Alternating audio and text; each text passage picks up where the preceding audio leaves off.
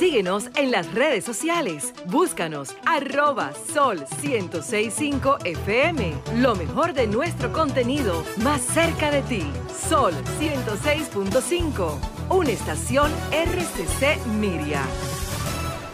Llueve en la capital dominicana, nublado y con mucha lluvia. Ahora el cielo de Santo Domingo, había lluvia anunciada para el distrito y el Gran Santo Domingo. Lluvias que han estado tocando la costa atlántica y la línea noroeste durante una semana completa lloviendo, ya saturado los suelos en Puerto Plata, Montecristi, Villa y la parte baja de la línea. Eh, ojalá y no sea tan copiosa aquí como sabemos, ¿no? Los villorrios de, de, la pobreza que se inundan frecuentemente con este tipo de fenómenos. Los, líderes de, mundiales de Ángel Acosta que observen los trastornos climáticos que se están definiendo. No, mío no. no, los míos están claros en ese tema. Pero, pero, pero, espérate, Pero tú, Estados Unidos no, no quiere firmar ninguno de los protocolos. No quería el troglodita de Donald Trump. Eso ah, está superado. Estamos de acuerdo. Eso está superado. Estamos de acuerdo. Eh, eh, con el perdón de Fafa, porque Fafa domina esta parte de la historia. Eh, yo me sentí hoy muy regocijado y creo que conmigo tiene que haberse sentido también el PRD y toda la familia peñagomista del país en el reconocimiento que implica a don Felipe González eh, naturalizarlo como dominicano. Otorgarle la nacionalidad. Sí. sí. ¿Por qué? Primero, ha sido un amigo histórico de República Dominicana. Eh, yo no tuve la oportunidad de compartir con el PRD aquella historia de José Francisco Peña Gómez, de él y de su relación con República Dominicana, pero ahí está escrito en los en la historia dominicana, en la historia política del país, la solidaridad de este hombre con República Dominicana, su gran amistad con Peña Gómez. Yo me regocijo, me sentí muy bien de ver a Doña Milagro en ese ejercicio, sé que tiene que ser una idea de ella y es un dominicano desde hace mucho tiempo. Fafa, corríjame, por favor. Yo estaba en el acto. Había sido invitado al acto. Y también lo vi con mucha alegría, porque la lealtad en política no es común. Y él ha sido un amigo real de este país, de años. Siempre se ha interesado por impulsar y reconocer cualquier cosa que nos favorezca. Amigo aliado de República Siempre estuvo abierto a la colaboración y en los momentos difíciles el pueblo sabía que podía contar con él. Además, la gente recuerda cómo él, cuando murió Peña Gómez, vino aquí al país y fue el que despidió a Peña Gómez. Amigo, amigo de Peña Felipe es el dirigente extranjero que ha hecho más evidentemente suya la causa de los dominicanos. Por eso, todos los que estábamos ahí, gente de la Guardia Vieja, estábamos muy alegres porque él se merece el hecho de que lo declaremos un compatriota. Y yo creo que el país gana con él. Totalmente. Con asimilarlo y con integrarlo.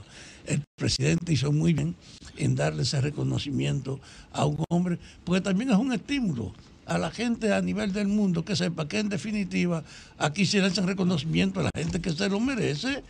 Y Felipe es un hombre interesado en la democracia y en la suerte de este país. Y ayer cuando él habló contando sus viejas situaciones, recordó entonces entre los que estábamos ahí muchas estampas del pasado.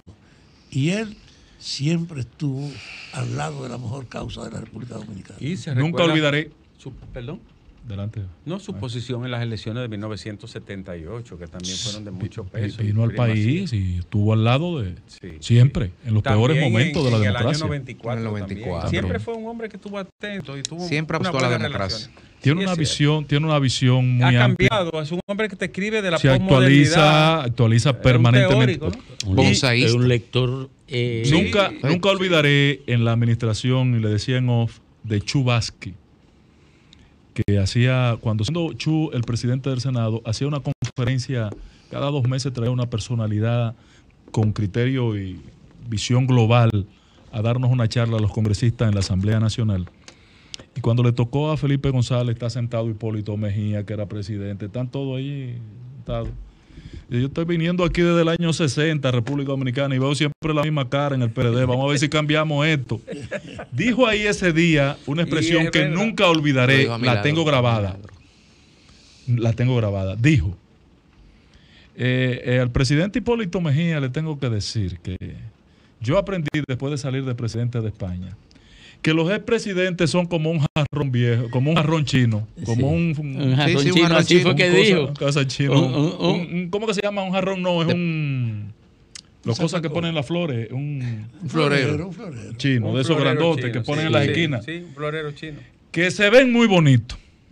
Pero, Pero el problema es que nadie encuentra dónde ponerlo. nadie haya dónde ponerlo. Yo recuerdo Son grandes, bonitos, ocupan un espacio, Y es verdad. pero Yo nadie recuerdo. encuentra dónde poner. Y es verdad. Y es verdad. Después que salen de presidente. Antes de que Domingo intervenga con su... Sí. Espero- Atrévete a decir. espero- atrévete a decir. Pero sin embargo, espero que toque...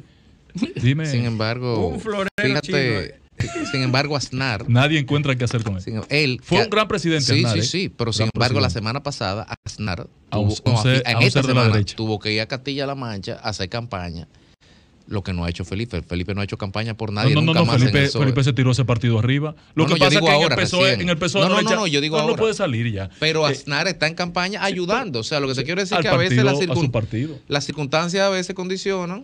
Las eh, verdades que le dijo al PSOE Felipe González cuando los pleitos internos por dirigir el partido previo a ser eh, Go- Go- eh, Sánchez Allá, dices. presidente allá no fueron pocas. Ah, no, pero Felipe claro, tiene claro. 79 años de edad. El tiempo pasa y no es para juego, ¿no? claro. Casi va a cumplir 80 años este Sí. hombre. Le otorgaron la nacionalidad ahora ya. casi y ahora va a 80 años. cometer, va a enfrentar la aventura más grande de su vida, ¿Cuál es? ser dominicano. Oh. Yo Yo, creo, yo, creo, espero- yo creo que él lo era Yo hace mucho que- tiempo. Que lo suelten en la 27 con Leopoldo Navarro y le den para abajo. Y, y miren, y miren, y a- al otro que deben hacerle un reconocimiento de esa misma es, a- es al rey, al rey emérito. eh. Ah. Hipólito, promulgue, Ah. proponga No, eso. pero- pero- a él le sabes- gustan las dominicanas, digo lo los, domin- las domi- lo- los- La- la- la- el pueblo él ha dominicano. venido a beber mucho al este. No, él, A la él- casa de un él amigo no puede de- fuñir mucho. Mira. ¿Cuál? El rey emérito porque le está haciendo mucho daño a la monarquía. Sí. Sí. La- Está eh. Sí, ese pero hombre es que le lo hagan dominicano. Yo no que Domingo, para allá. No que el joda para acá. rey, ¿Y por qué no plantea al el rey le pasó como un tío mío que hizo tantas cosas y tantas cosas. Y es al- verdad que le gustaban las morenitas. que al final, sí, Y los elefantes también. mira, el, el tío mío dio mucho brinco en su juventud. Y después de viejo se le olvidaba ponerse hasta los pantaloncillos. Ah, no, pues explícale pero mira- cómo se ponen los pantaloncillos. Porque ella, él le gustaba Los la- españoles aprendieron a ponerse los pantaloncillos con una consigna, dice Consuelo Despradero. ¿Cómo?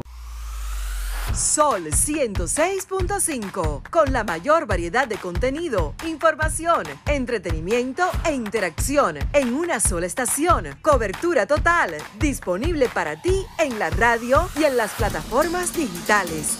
Somos Sol 106.5, la más interactiva.